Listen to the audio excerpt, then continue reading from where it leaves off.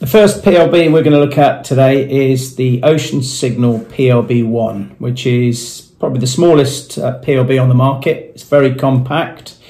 It's not inherently buoyant. Um, it does come with a flotation pouch that you, when you put the PLB in, it's uh, fully buoyant.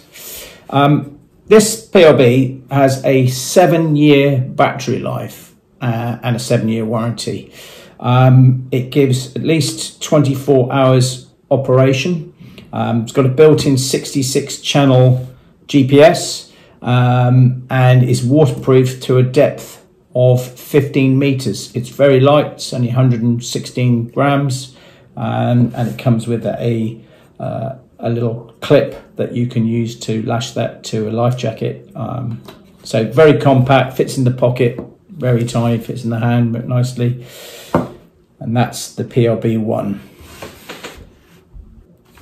On top of the PLB, there is a battery ex, uh, expiry date that's stamped on top that shows you clearly when you need to uh, have the battery replaced. It's not user replaceable. You have to take it to a service agent to have that battery replaced.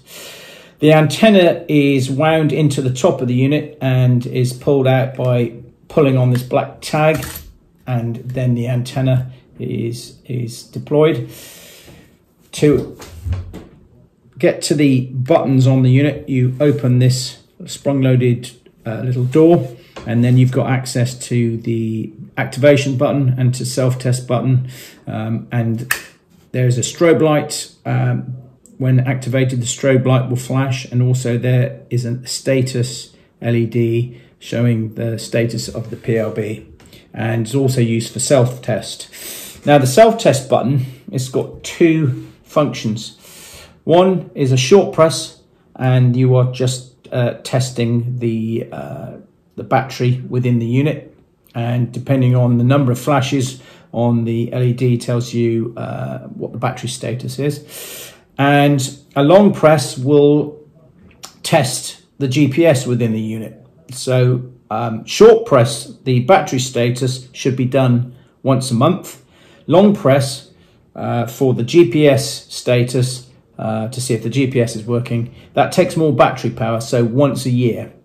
So there is a self-test functionality uh, on this unit to make sure that you're happy with the status of the PLB.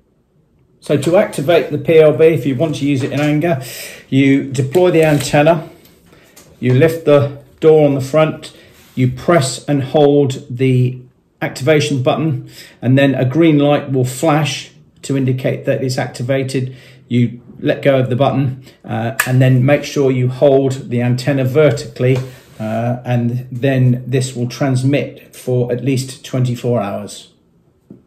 In the box you get the PLB1 a flotation pouch, a clip, a rubber band to lash to go around the clip and lash it to a uh, life jacket, also a lashing strap, a user manual and a registration form. Now, uh, you can register these online, which I'll show you later in the video, uh, and you don't necessarily need to use that, but it's, uh, it's in the box.